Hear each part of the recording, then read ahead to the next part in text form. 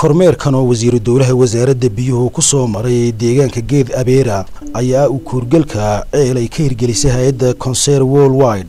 Injineer mubaarig oo ka mid a mas'uuliyiinta hay'addan ayaa waxa uu ka warramay ceelkan iyo baaxadda biyihiisa isagoo sheegay in dherarkiisu gaadhayo ilaa boqol iyo konton mitir saacaddiina uu soo saarayo labaatan mitir kuyuub waxa markaa ay noqotay in la odhan jiray meeshu biyo ma laha. Deet waxay hayaddu isku dayday inay samayso waxa weeyaan siirfaygii horta biyaha. Alxamdulilah ilahi waa nagu guuleeyeen markaa aan ka helno halkan aan joogno goobtan joogno biyo. Dhinaca biyaha hadday ballay tahay iyo hadday barka tahayna way maxay ahayday hadda noo qabtaan. Laba waxay fuliyaan dhisaynka ay ugu tala gashay wasaaraddu.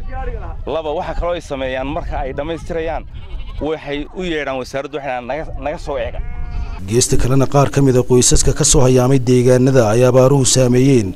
Ayaa xukuumadda iyo hay'adda uga mahadnaqay dadaalka biyo soo saare ay u sameeyeen gebagabadiina wasiiru dowlaha wasaaradda biyaha jamhuuriyadda somalilan mudane mahdi cismaan buuri ayaa waxa uu sheegay in kormeerkan uu yahay mid ay ugu kuurgelayaan xaaladda biyo soo saar ee ceelkan ku yaalla deegaanka geedabeera isagoo sheegay dhowaana ay kala wareegi doonaan hay'adda conser worldwide oo iyada door lixaadla ka qaadatay biyo soo saarka dalka.